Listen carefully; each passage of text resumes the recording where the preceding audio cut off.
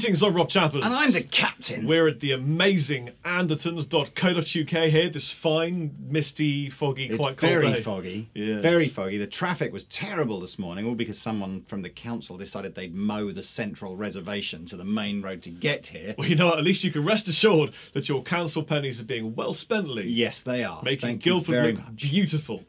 Uh, what have you got? Well, I know if you're a fan of Chapper's channel, you're probably watching this like two minutes after the video's gone up, which will probably be in 2013. First! First, Um, but what we have here is a sneak preview of the guitars that Gibson are releasing in 2014. New Gibson New guitars. Gibson Day. Um, NGD. Um, and what I thought we'd do is kind of start at the bottom of the range, take it in turns to review the guitars, and we're going to work from the, the Melody Maker right up to some of the guitars that you see on the wall behind us here. There's about seven, eight new guitars, and each guitar is going to have its own video. So this is the first one, so stay tuned and watch all the other ones too, please. Um, right, this Melody is Maker. a Melody Maker. Melody Maker exists purely, it's simply because back in the day, uh, Gibson needed to find a, a cheaper way of making these so that students and less affluent guitar players could afford them. So the Melody Maker is a sort of a cut down, thinner bodied. Um, this particular one has P90s on it, wraparound tail bridge, uh, tailpiece, sorry. Um, and, you know, is a, a pretty cool guitar. It's still a mahogany body with a maple cap, albeit sort of, you know, thinner than you'd expect. Um, every one of these guitars now has got uh, this 120th anniversary logo. Why is that, Rob? well, it's because it's the 120th anniversary of Gibson guitars. Wow, that's there old, isn't it? Quite a few updated changes to the whole range Yes. that they all share. Yes. That's one of them. What else is there different on that guitar? Well, Lee? they put the, the sort of everybody's favourite sort of knobs on these, the, the ones with the knurly bits, so that, you know, no matter how sweaty you are, you're never going to kind of slip on one of these. This particular one, first found on PRS, I think. were they? Well, they were on my PRS anyway. Um, this particular one again is a, a 50s style um, neck, which do you know what? Every time I pick up a 50 style one, I kind of think, do you know, I'm sure there's less difference between 50s and 60s now than there used to be. So it's not a real chubber neck at all. Um, these particular these particular P90s are wound. This one has rather informatively nine and a half 9,500. thousand uh, wines uh, round an Alnico magnet.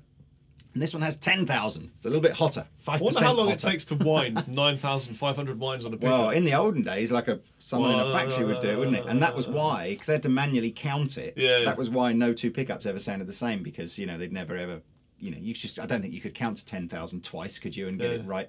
But I'm sure a machine now kind of goes. There you go. Do you reckon they were like really fast at brushing their teeth after a few years working at the And factory? all, all sorts of other things that involve wrist yeah, action. imagine that. It'd be expect. just, everything would be just really, really quick, wouldn't it? You know. what do you do for a living? I work winding pickups. I'm, do you want to come for a drink? That was drinking, by the way, in case you're wondering what else that might be Um, gesticulating on. It uh, comes with uh, a really nice Gibson Deluxe gig bags. You know the ones with the super thick padding. Oh, that and- colour's strange. Lee, tell me a quick story about why it's I'm that glad you mentioned that because this isn't the only colour this guitar comes in, although it's probably the most infamous. This is called TV yellow, um, and this colour, which uh, you know is I suppose mustardy. But back in the day of uh, black and white television, I'm sure you guys all know this. If you turned up with a white guitar um, to the studios, or, or um, what would happen is that the heavy uh, lights used in the studio would reflect off the guitar and sort of blow out the, the, the your sort of guitar image on the uh, on the TV cameras. So the the cameramen and the producers never liked that. So the, Gibson uh, designed this color called TV yellow, uh, which Outdated digital just- media yellow. Yeah, Or, uh, which looks white in black and white. so if you don't like this particular color, then just shoot all your videos in black and white, and you'll just look like you've got a white guitar. But I kind of think it's become one of those like just synonymous guitar uh, colors with like old guitars. yeah, see, for me, uh, this, by the way, you have to play one of these. These feel absolutely awesome. I don't know whether it's the setup today from our wonderful text or what it is, Mm. but both of these guitars are doing Gibson proud. Just not a big fan of this colour. No. According to my spec sheet here, it says it has a maple neck. Obviously, it's a rosewood fretboard, but a maple neck. So Yes. that's kind of um, Have you noticed the size of those strap buttons, Lee? Well, the strap buttons have been enlarged again because I think there was some criticism on the older Gibson guitars that the strap button was quite small, and if you didn't use strap locks, your strap would fall off. So don't worry now; these have got proper UFO style strap buttons. Let's hear it. Today, uh, I am using a, a Blackstar S1-45 that they kindly sent us. Uh, so I'm going to just go through my sounds here on this Blackstar S1-45 that uh, they've lent us, which is kind of cool. Thanks, Uh, Blackstar. right. They're P90s. So what are you hearing first of all? Homage. Hummage, because they're not proper humbuckers. That'll get worse as we go to a um, distorted Or sound. better if you like that sound. Yeah. So here's the neck pickup.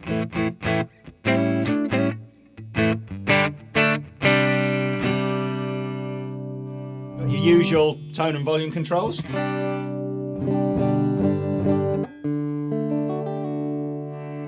Both together, which cancels the hum.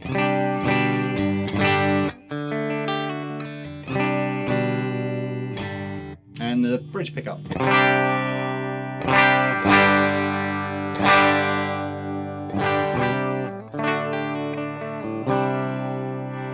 If Give us some of that Captain Crunch. Yeah, if I put a bit of crunch on it, it's uh, a little bit gnarly. I like this sound actually.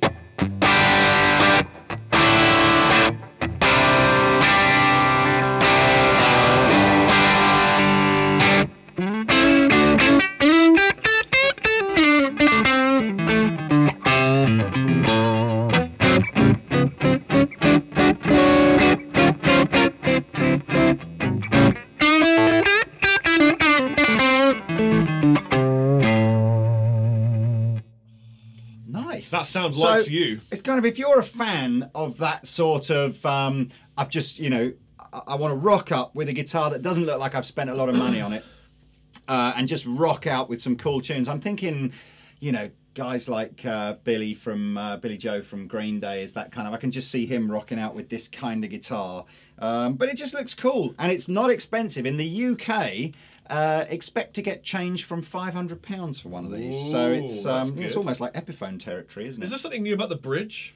Uh, the bridge is. The? Um, I can't remember. What did it? What I think it's called the? Lightning, but I might be wrong. Let's look at the spec right. sheet on the Let's look at floor. the spec sheet on the floor. Um, Holy Rob's his specification. What does it say? It's on the um, main.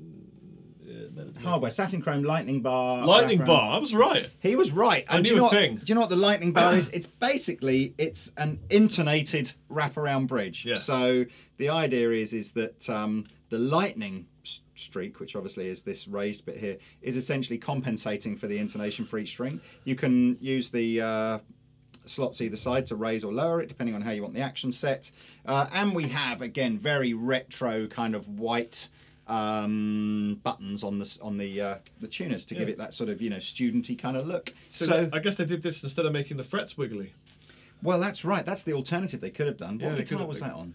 Just whichever one was just completely shit because that's just a stupid idea. Well, all the the three blokes that bought it will probably disagree. um, no, there is a brand out there that, that compensate all the frets so that the intonation is even better. But I'm sure it's awesome. Uh, Jimi Hendrix never did that, did he? No, but he in was never in Did sound out of tune all the time. Think of another guitar player. Steve Vai. Peter Um, Green. Peter Green. Peter Never Green. used wiggly In frets. fairness, Always every great. famous guitar player never Oh, yeah? used wiggly frets. Well, that's true.